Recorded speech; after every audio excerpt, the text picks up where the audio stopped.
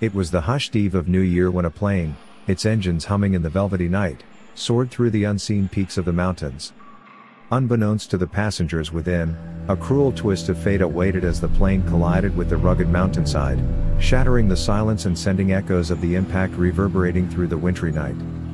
The wreckage, once a vessel of hopeful travel, now lay strewn across the cold expanse, a testament to the fragility of life. As the survivors stumbled out from the wreckage, disoriented and shaken, the biting chill of the mountain air seeped into their bones. The darkness enveloped them, casting an eerie shroud over the scene. Huddled together amidst the wreckage, their breath visible in the frigid air, the survivors faced a harsh reality, they were stranded in the unforgiving embrace of the mountains, with the distant glimmer of the plane's wreckage casting long, twisted shadows in the snow.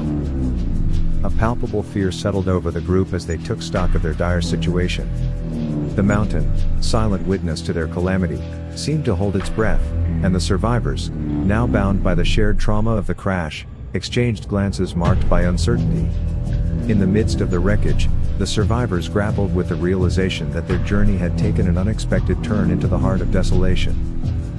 As the night deepened, the survivors sought refuge within the broken fuselage, its skeletal remains a stark reminder of the catastrophic descent. The distant howl of the wind became a haunting melody, blending with the whispers of the mountain.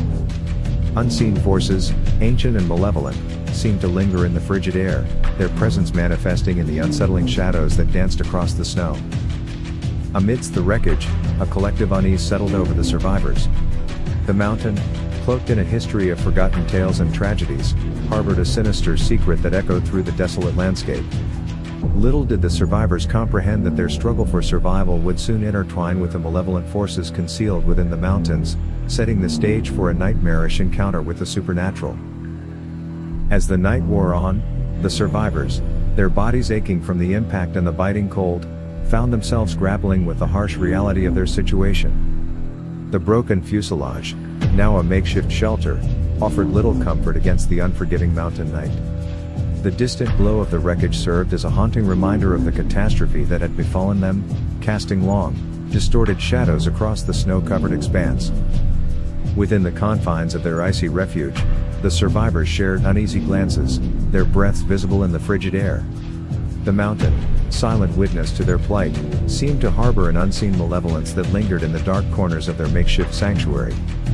Whispers of ancient tales, carried by the biting wind, infiltrated their thoughts, intensifying the atmosphere of dread that clung to the wreckage.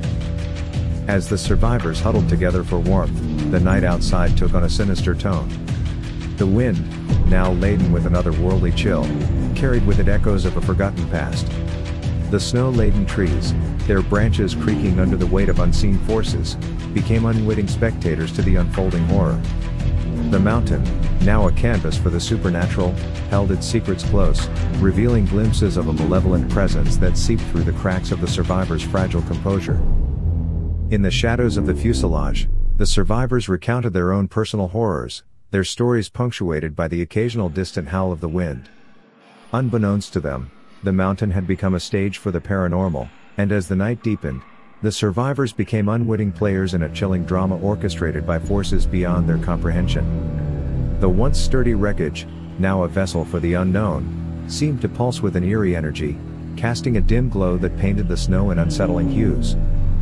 Outside, in the desolate landscape, the mountain itself seemed to awaken with a malevolent intent. Dark figures, concealed within the shadows, emerged from the snow-covered terrain, their presence revealed only by the distorted silhouettes they cast. Unseen eyes watched the survivors from the depths of the wintry abyss, setting the stage for a nightmarish encounter with the spectral entities that now encircled the crash site. As the night deepened, the survivors within the fuselage, unaware of the spectral forces that lurked just beyond the shadows, grappled with exhaustion and paranoia. The mountain, now a canvas for the supernatural, seemed to pulse with an unseen malevolence, casting an ominous glow that tainted the snow with unsettling hues. The distant howl of the wind intensified, harmonizing with the whispers of forgotten tales that lingered in the air.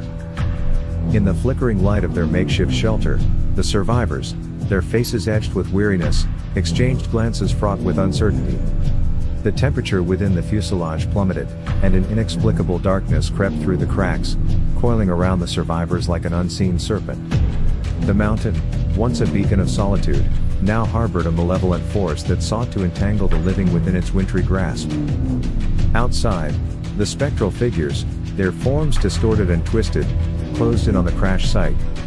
The snow, now disturbed by unseen footsteps, bore witness to the dance of the shadows as the entities moved with an unnatural fluidity.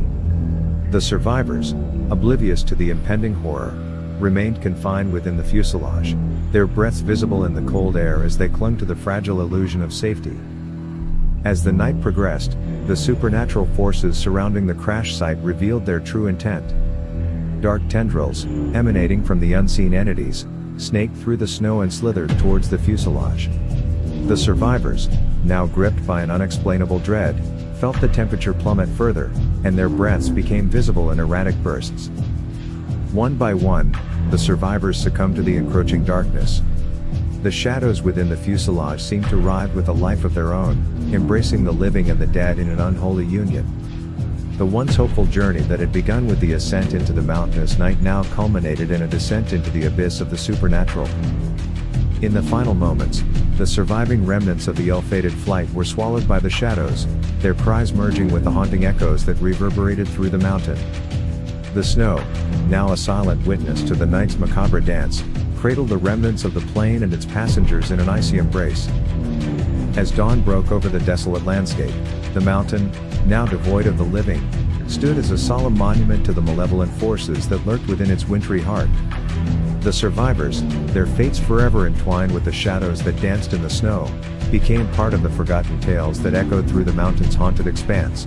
The once silent peaks, now tainted by the chilling encounter, bore witness to a night that transcended the boundaries between the living and the spectral, leaving only the lingering whispers of an unholy dance in the cold embrace of the mountains.